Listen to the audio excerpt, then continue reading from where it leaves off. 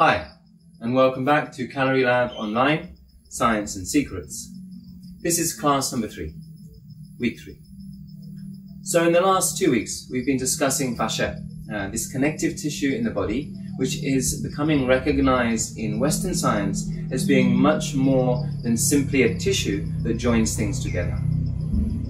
Recent research has shown that it actually transports light. So much in the same way as a fiber optic cable, light is able to move along through this connective tissue. And this tissue is found between every cell in the body, it seems. The more they look, the more they find it. They've looked in many different organs, they've looked under the skin, they looked in muscle, tendon, ligament, nerve, fibers. And everywhere they look, they find that between the cells that make up the structure, there is there is this um, matrix, this collagen matrix, which is surrounding fluid-filled bags. So you have bags of interstitial fluid surrounded by a collagen structure, and then you have a lymphatic drainage network to take away the waste products. So what it seems is this system is allowing communication throughout the whole body. Communication not only of fluid and of light, but also of tension. And in that way, the body adapts and molds in response to the demands put on it. If we have an injury, the body compensates. We all know that. We all know that we feel that compensation. But what the fascia is showing us, or what this network is showing us, is showing us the pathways that that compensation is likely to follow. So we discussed in the last class how there was a line in the front and a line in the back.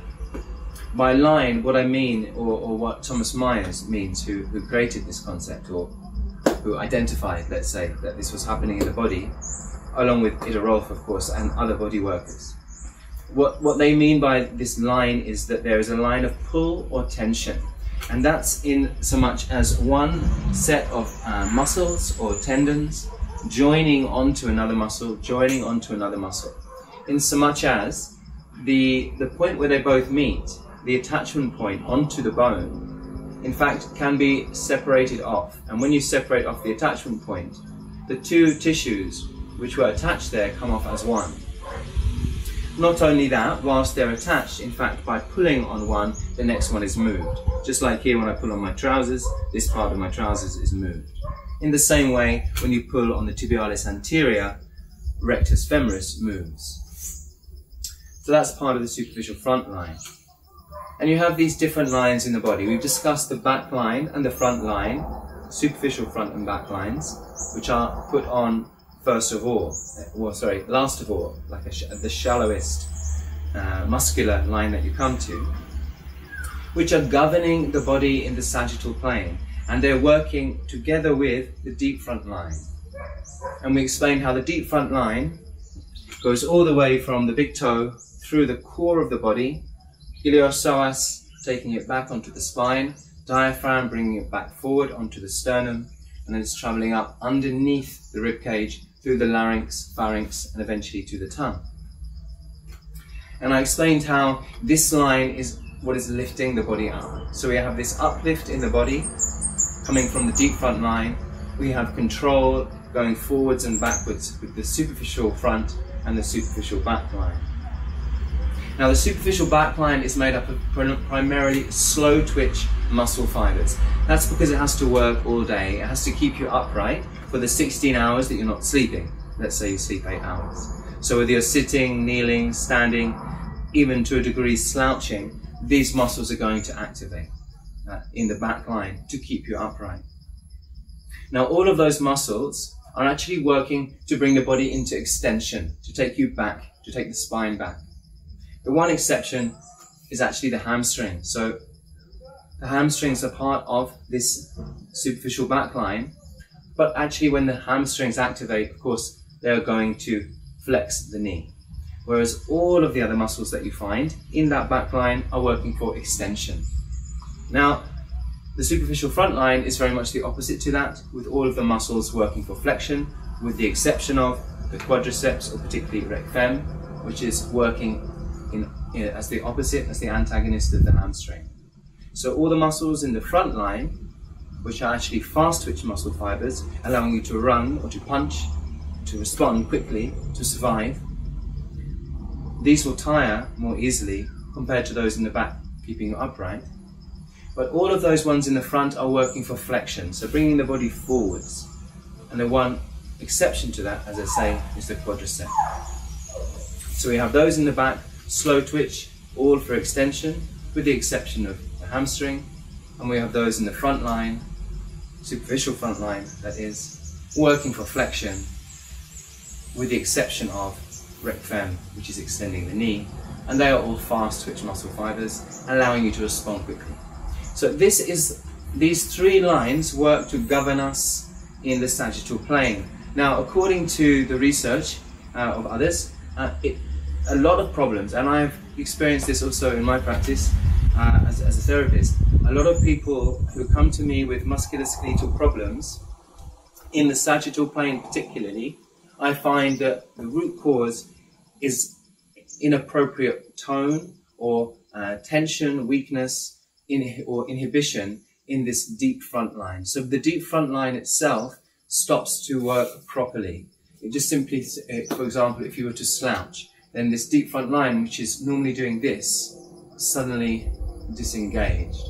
And as that happens, your superficial front line and your superficial back line take over the role of governing you in that sagittal plane.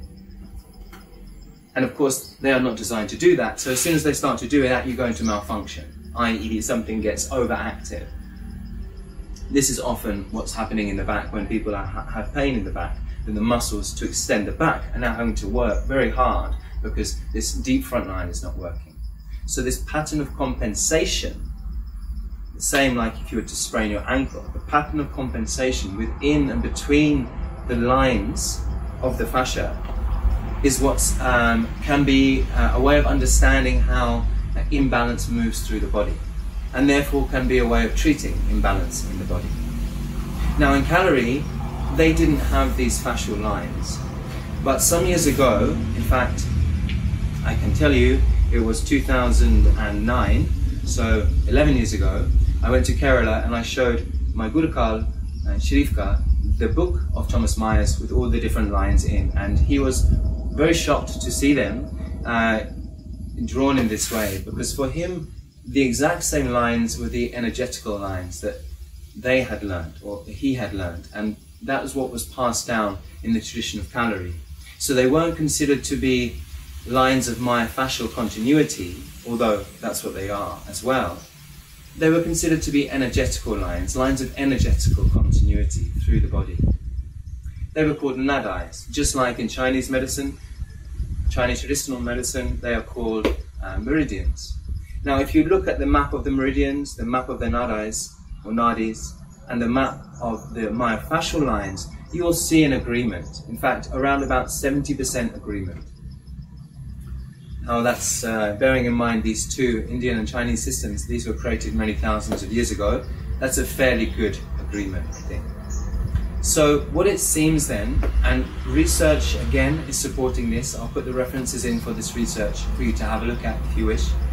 Research is now saying that this physical, uh, tangible system, this uh, system of connective tissue with its lines of um, least resistance, if you like, lines where the tension goes through the system, this is the physical substrate. It, it appears to our energetical body the if you, if you look at it from a, the, the Ayurvedic approach, we have the different koshas.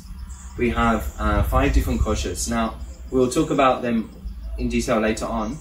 But the first kosha, Annamaya kosha, is the food body. This is what is uh, everything from the surface of the skin to the lining of the gut.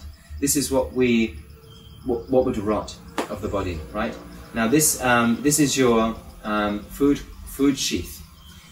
Now this of course is where you find the fascia. In fact, it goes, permeates entirely through that. As it does so, it, it passes light, it passes nutrients, it passes water, and of course tension.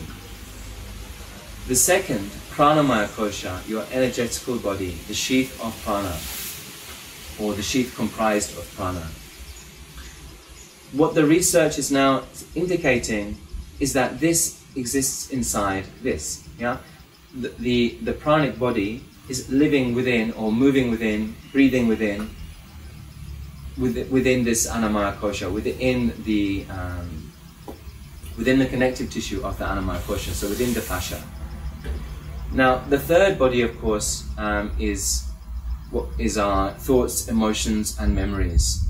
Now, research has for some time shown that this um, this holding on of tension that we have as a result of trauma is again connected into this tissue, so into this kind of fascial muscle memory.